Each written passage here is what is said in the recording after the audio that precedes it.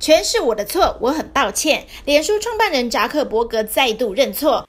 We didn't take a broad enough view of what our responsibility is, and and that was a huge mistake. It was it was my mistake.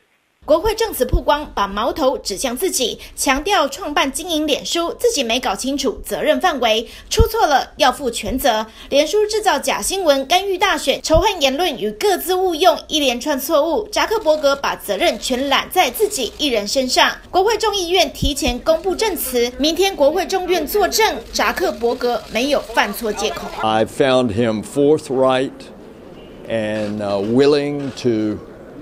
uh, want to turn things around where he sees that mistakes have been made.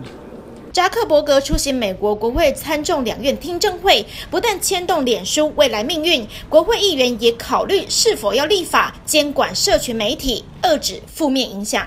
That if we don't uh, rein in the misuse of social media, none of us are going to have any privacy anymore.